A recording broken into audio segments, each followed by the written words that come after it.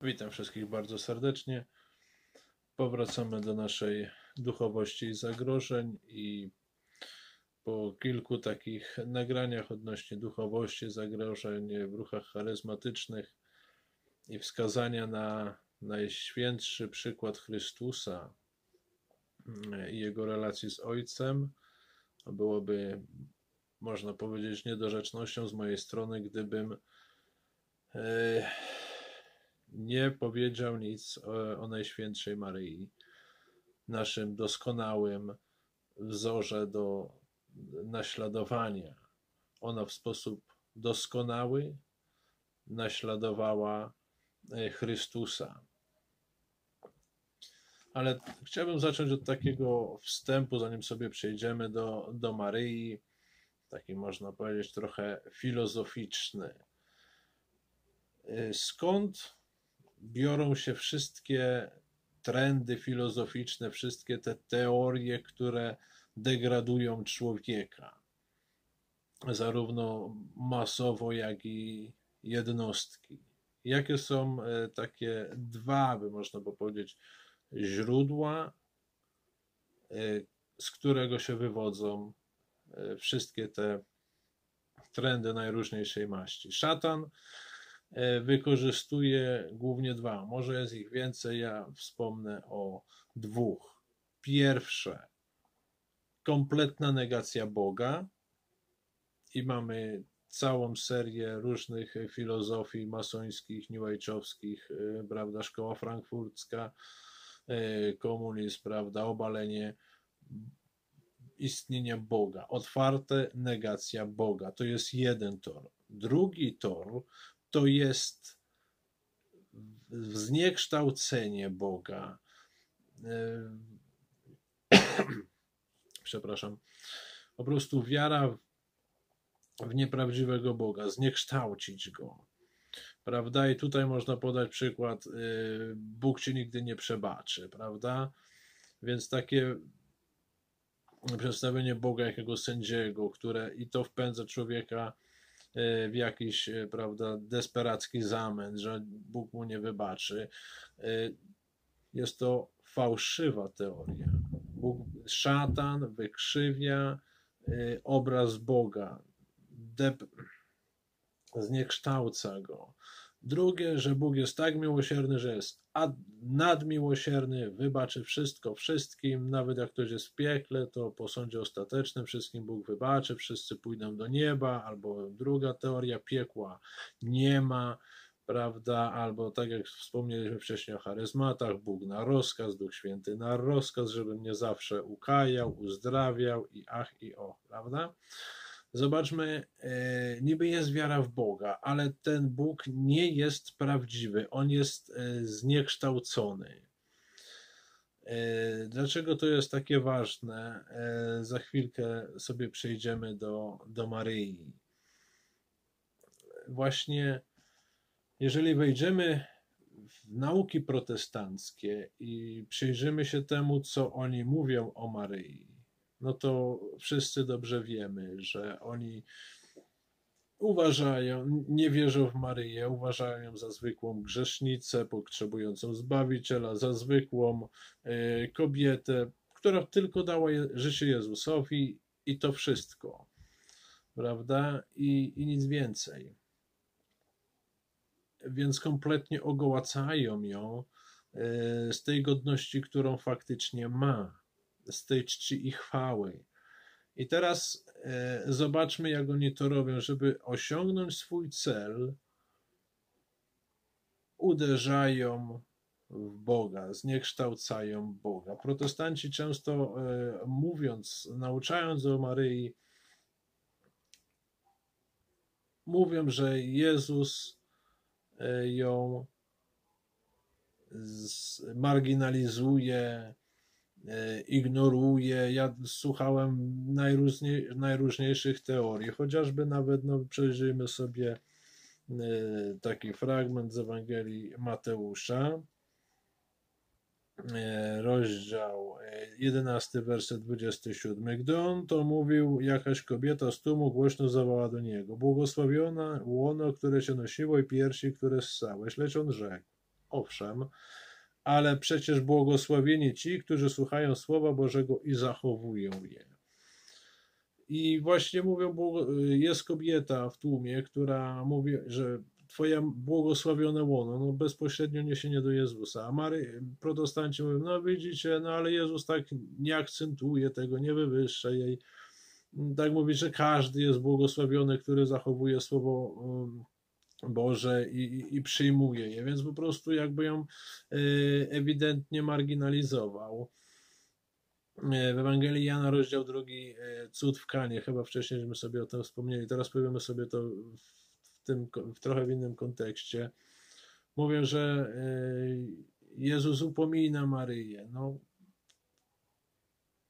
gdyby upominał Maryję, faktycznie, że robi i mówi coś źle, no to byłby współwinny grzechu, prawda? Bo przecież on e, dokonał cudu. I teraz zobaczmy, powiedzieliśmy sobie o tych dwóch, e, prawda, e, torach, którymi operuje szatan. Negacja Boga bądź zniekształcenie Boga, prawda?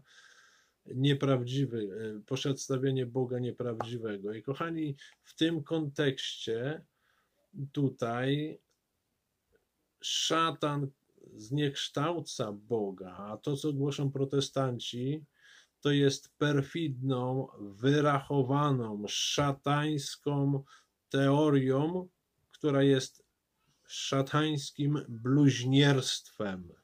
Jest szatańskim bluźnierstwem, które podważa świętość Boga.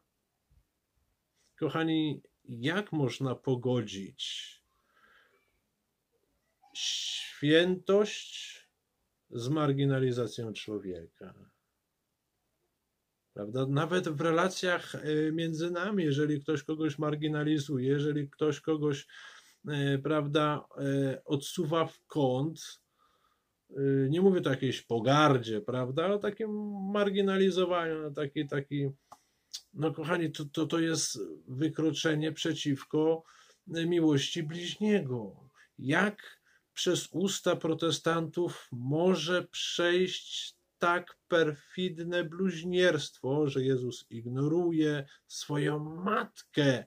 Jest to bezpośredni atak na świętość Boga jak ignoracja osoby ma się do doskonałości e, Boga Jezusa Chrystusa?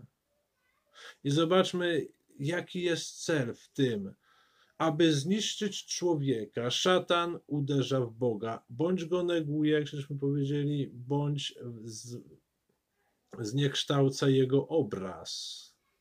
I tutaj, żeby y, szatan zniekształca obraz Chrystusa, aby w konsekwencji uwłoczyć i poniżyć Maryję, uczynić z niej zwykłą, śmiertelną, grzeszną kobietę. Więc, żeby to uczynić, oczernia bluźnierczo Boga, że nie jesteś święty, nie jesteś doskonały, bo ignorujesz i to swoją matkę, czci ojca swego i matkę swoją. Ignorujesz matkę. Nie. No, widzicie tutaj ten nonsens? Ja się dziwię, e, jak przez ponad 500 lat protestanci nie, zorientowali się, że takie nauki idące w kierunku właśnie, że Chrystus y, ignoruje matkę, są bluźnierstwem i przedstawiają Chrystusa jako niedoskonałego. Ja wiem, oni są pewnie nieświadomi, ale no to jest cała sztuczka szatańska, prawda? A jeśli się podważy świętość Boga, no to wtedy można podważyć wszystko. Uderz w Boga, to człowieka zniszczysz, jeżeli mu zabierzesz Boga albo zniekształcisz jego obraz. I szatan o tym wie i tak gra. A szatan nienawidzi Maryi. Szatan walczy z nią. Widzimy to bardzo wyraźnie w 12 rozdziale Apokalipsy, prawda? bo wie, że ona zmiażdży mu łeb, wie, że ona zmiażdży jego herezję, bluźnierstwa i wszystkie jego wysiłki, prawda, mamiący człowiek. One wszystkie zostaną zmiażdżone, starte i zobaczmy, yy, w tych przepięknych fragmentach, które mówią o Biblii, nawet jeśli nie mówią wiele o Maryi, to jednak jest tak przepiękna nauka. W tych słowach Chrystusa widać jego że on ją wywyższa, zwracając nas ku istocie, prawda? A szatan to tak wykręcił, że ją ignoruje, że, ją, że poszła w odstawkę, prawda? No tak po macoszemu marginalizuje. Co jeszcze raz powtarzam, jest bluźnierstwem, które nie wypacza nauki Boga, prawda? Ale jest splunięciem mu w twarz nie jesteś święty. Marginalizujesz. No tak powracając jeszcze do, do charyzmatów, o, bo modlę się i, i, i nie jestem uzdrowiona. O, masz za mało wiary. Masz za mało wiary, może Bóg cię po prostu marginalizuje? Skoro potrafił zmarginalizować swoją matkę według waszej nauki, to jaki, co stoi na przeszkodzie, żeby nie zmarginalizował twojej, twojej choroby? Prawda? Dlatego cię nie uzdrawia. No, marginalizuje cię. To jest absurd, bluźnierstwo. I tego trzeba się wystrzegać.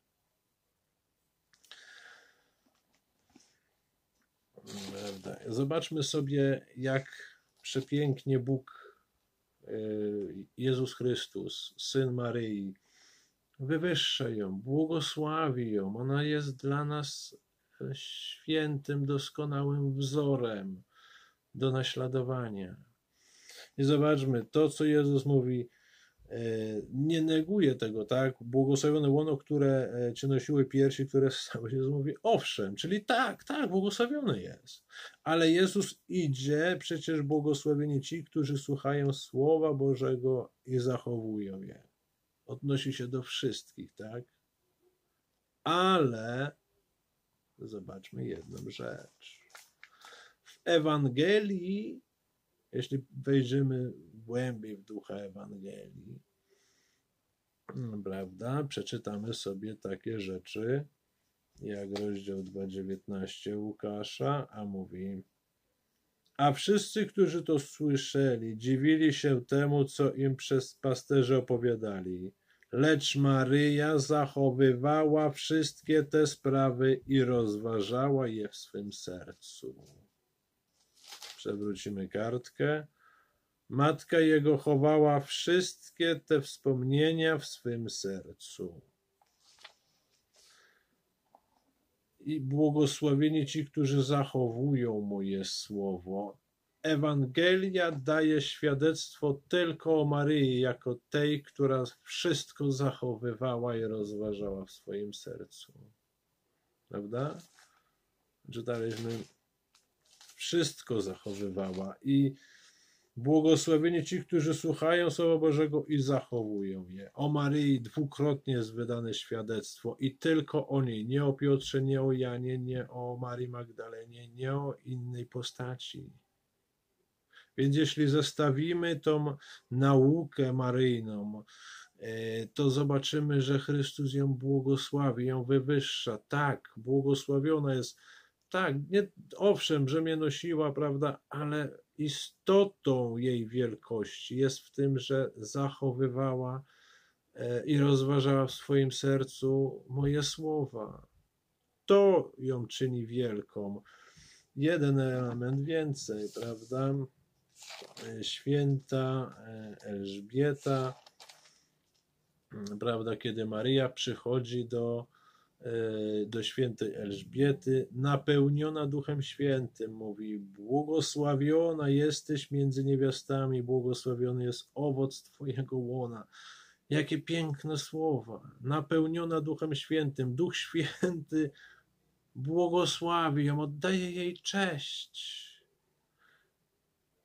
wróćmy, błogosławiona jesteś, któraś uwierzyła, że spełnią się słowa powiedziane ci od Pana. Wielkość Maryi, która jest podkreślana przez Chrystusa, I tu przez Elżbiety, przez Ducha Świętego słowami Elżbiety polega na jej wierze i wszystko tym, kim ona jest, królową niebios i ziemi, królową Chrystusa, Boga, Matką i naszą, jest konsekwencją jej e, tego głębokiego zachowywania, rozważania w swoim sercu Słowa Bożego i wiary. Ubłogosławiona jesteś, bo uwierzyłaś. Nie błogosławiona jesteś, bo jesteś królową niebios. Nie, to wszystko jest konsekwencją jej doskonałej wiary, jej pełnej łagodności posłuszeństwa głosowi Ducha Świętego, głosowi Pana. I mówi wtedy wielbi dusza moja Pana, raduje się duch mój w Bogu moim Zbawcy, bo wejrzał na uniżenie służebnicy swojej. Łagodność jej im pokorną postawę w przyjęciu słowa, nawet jeśli nie rozumiała, niech mi się stanie według słowa Twojego.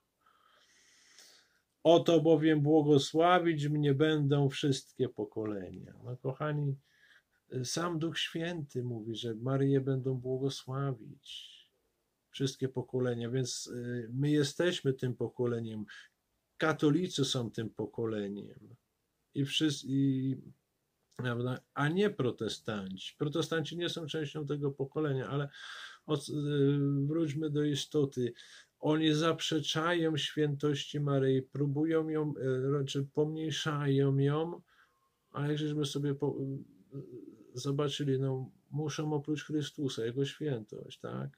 Bo jeśli się przedstawi Chrystusa inaczej, no to automatycznie wszystko leci, nie?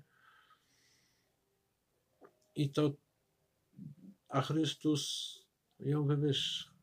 Robi dokładnie na opak. Nie marginalizuje jej, ale ją wywyższa i dla nas jest tym wzorem, błogosławionym wzorem, doskonałej wiary, doskonałego posłuszeństwa w, łagod w pokornej łagodności ducha. I w tym należy ją naśladować. Y, w tym y, jest naszą przewodniczką. Właśnie. I Chrystus ją błogosławi, Duch Święty ją błogosławi przez usta Elżbiety. Błogosławmy ją, kochajmy ją i naśladujmy ją a tam, gdzie jest ona, jest Duch Święty. Ona wstąp, wchodzi do domu Elżbiety.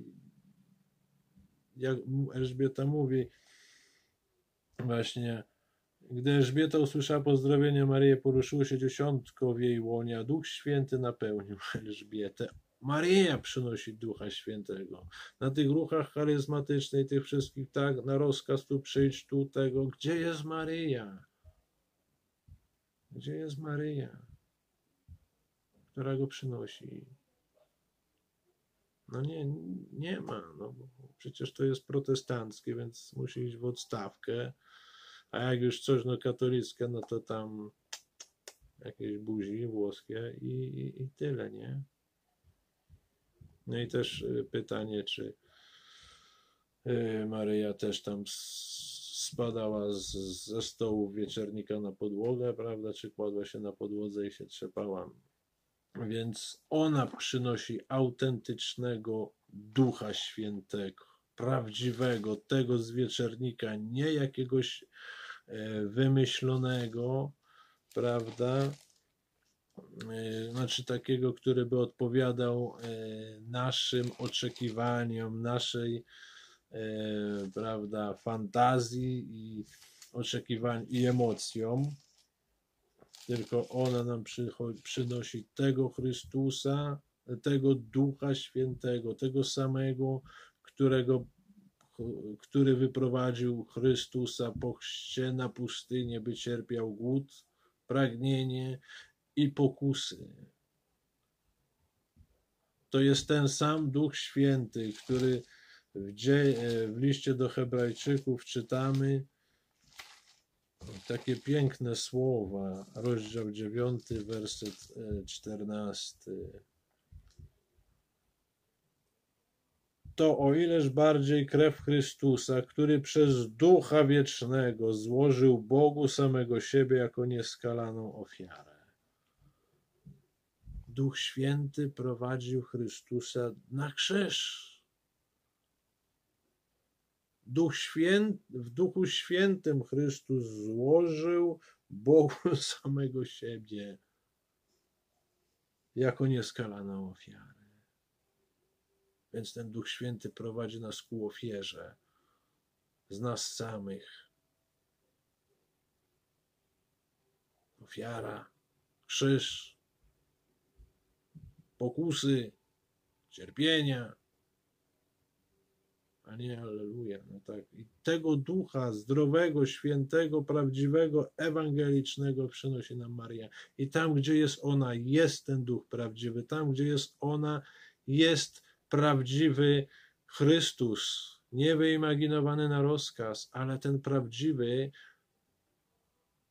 e, pełen łagodności, ponoszący krzyż, owszem, zwycięski, ale najpierw e, powiedział: Boże mój, Boże mój, czemuś mnie opuścił? Konsumatum est, wykonało się i skinął głowę i wyzionął ducha. Prawda? I Maryja też tam była. Ona jest dla nas doskonałym wzorem naśladowania tej więzi, budowania tej więzi z Chrystusem. Ja wcześniej skupiłem się na, e, na tym, e, na Chrystusie, na świętości Boga e, okazanej nam w Chrystusie Jezusie, na Jego relacji do Ojca, prawda? Maryja jest tym doskonałym przykładem, jak naśladować Chrystusa prawda? Bo, bo, bo Chrystus przyszedł nam pokazać wzór, a Maryja jest doskonałym przykładem danym nam przez Boga, jak ten wzór naśladować, jak nim żyć, jak wcielać świętość w życie przez wiarę i łagodne posłuszeństwo yy, Bogu. Dlatego kochajmy ją, przylgnijmy do niej, nie, nie, obawiajmy się niczego i nie, nie dajmy się zwodzić. Tam, gdzie jest ona, jest Duch Święty i prawda, która nas wyzwoli. I nie dlatego, że ona jest większa, ale po prostu ona nam przynosi tego Boga. Prawda? O Maryi sobie będziemy mówić więcej, ja tylko tak E, no musiałem e, o niej powiedzieć, bo byłoby niedorzeczne mówić o zagrożeniach duchowych, o duchowościach, prawda, nie pokazując tego najdoskonalszego, tego świętego przykładu, jaki mamy w błogosławionej dziewicy Maryi. I no, Jezus na nią wskazuje. Owszem, jest błogosławiona, że jest tego, ale zachowywała wszystko w moim sercu. Wiara, i pokorne posłuszeństwo, pełne łagodności. I ona nam tego chce udzielać, tego nas chce uczyć jako nasza matka, a jest naszą matką i to wynika ze słów samego Chrystusa, kochani. Ale o tym następnym razem. Prawda? Bo tak e, protestanci tak to negują, prawda? Gdzie to nawet Matkę Bożą negują, prawda? Ale o tym sobie powiemy Y, w następnym wideo właśnie Maryja, y, Matka Boga i ludzi. Jak to się sprawy mają. Y, wszystkim dziękuję za uwagę, dziękuję za komentarze, lajki, subskrypcje. Pozdrawiam, życzę miłej no niedzieli u mnie, bo u mnie jest sobota. No, niedzieli dla Was, tak. I zostańcie z Bogiem.